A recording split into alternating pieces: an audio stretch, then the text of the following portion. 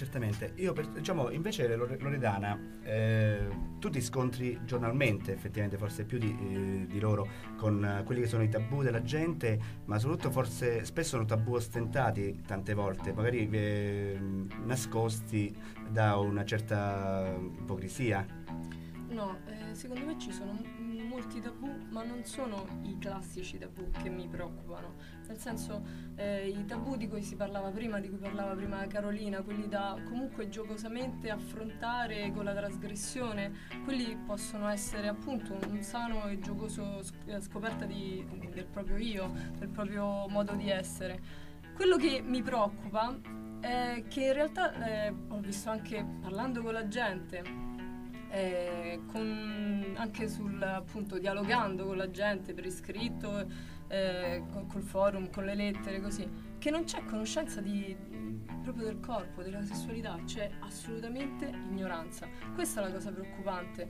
Cioè non, le, le, cose basilari non è che non si fanno perché eh, c'è il tabù, perché non si conoscono perché l'uomo non conosce la donna. Eh, degli uomini mi chiedono: Ah, io vorrei con la mia donna affrontare certi argomenti, vorrei questo, vorrei quello, vorrei quell'altro. Oppure anche delle donne mi scrivono.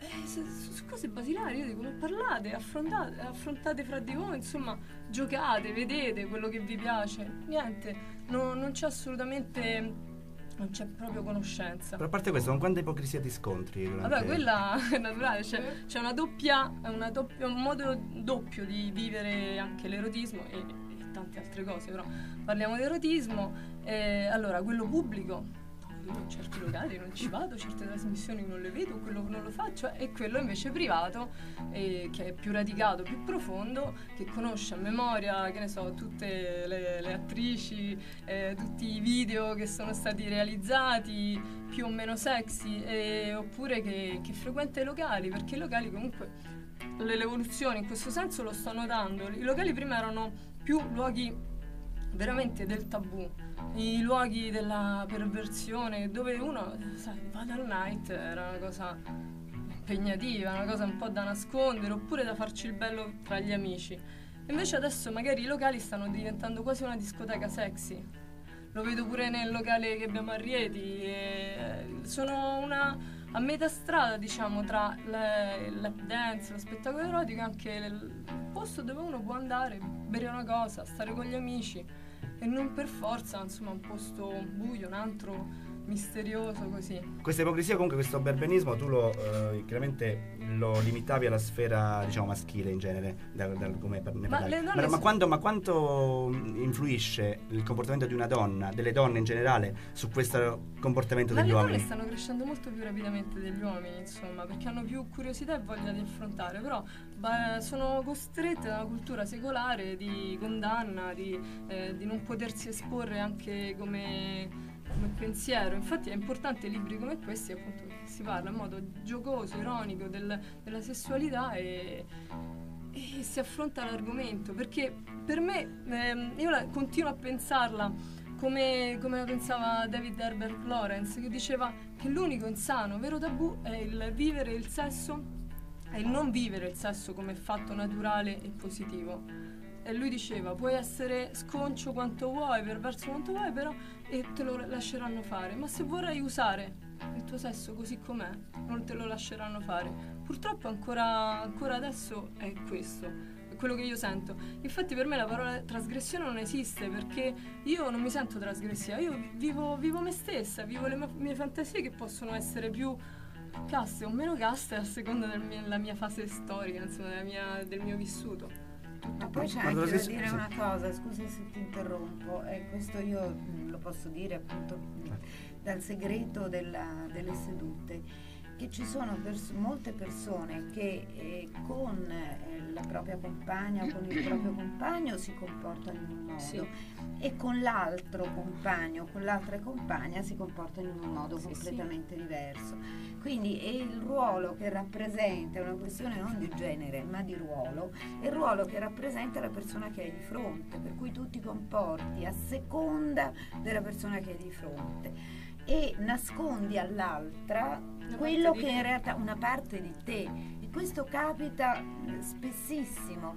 E quindi eh, diventa un tabù nel momento in cui tu nascondi e quindi non eh, fai apparire quello che in realtà sei alla persona che ami.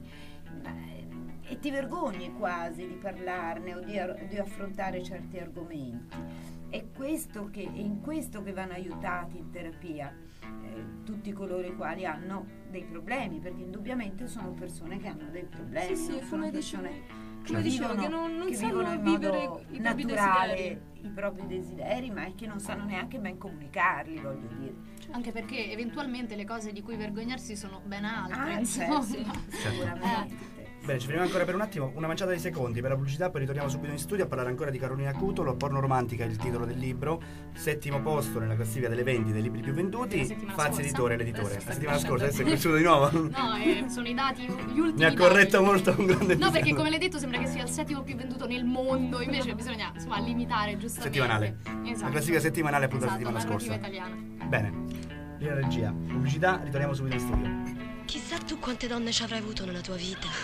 Molteplici, però più che donne sono state avventure, episodi, meteore. E con gli uomini? Come con gli uomini? Ma me l'hai detto tu che hai fatto anche quel tipo di Ah, sì, esperienza? Sì, sì, ma molto tempo fa ero molto giovane, inesperto.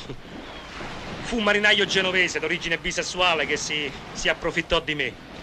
Fu un'esperienza amara, cruda. Tu mi dirai che cosa ho provato.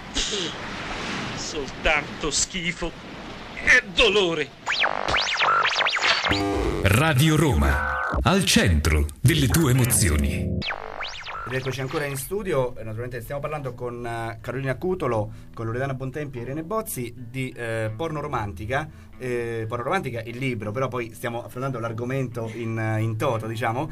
Eh, Porno Romantica è il titolo appunto che Carolina ha dato a questo libro, che poi sta diventando quasi una corrente di pensiero, appunto queste parole apparentemente inconciliabili, invece da quello che sta emergendo appunto dalla discussione animata qui in studio, eh, sono perfettamente conciliabili. Parlavamo appunto di tabù, eh, Carolina. E, diciamo questi tabù, eh, quanti ne hai visti? Quanti ne hai sentiti più che visti? Eh, e ne hai letti sul tuo blog prima di iniziare eh, la stesura di, poi del libro? Ma guarda, la cosa bella di questo blog, eh, per cui io sono molto grata ai lettori che poi si sono messi in contatto con me, è che non so se forse per i toni scherzosi con cui affronto queste tematiche e per eh, il fatto ad esempio di non fare un sermone contro un determinato tabù, ma divertirmi a aperti eh, scandagliarlo, eh, lo prendo in giro, quindi è già un approccio leggero la Certo. questione. Quindi le persone che si mettono in contatto con me, di fatto il 95%, se posso dare una percentuale così grosso modo, sono comunque persone molto curiose sessualmente, molto capaci di mettersi in discussione, che già perché si mettono in contatto con me, magari mi fanno una domanda, comunque è una domanda che già si sono posti per conto loro. Quindi sono persone che rispetto al tabù hanno già un approccio positivo. Ehm, la bassissima percentuale di persone che invece il loro tabù me l'hanno espresso magari attaccandomi, innanzitutto sono uomini e sono uomini che magari mi hanno detto una donna non dovrebbe esprimersi in questo modo, perché poi io tra l'altro non sono neanche particolarmente volgare, non è che voglio scioccare a tutti i A costi. cosa Se- si riferiva?